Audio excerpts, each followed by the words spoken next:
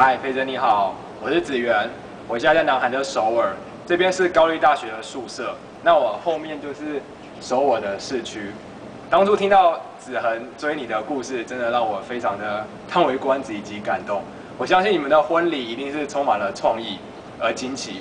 可是很可惜的，我没有办法参加你们的婚礼，所以我在这边录制这段影片，然后祝你们百年好合，白头偕老，然后献上我的祝福。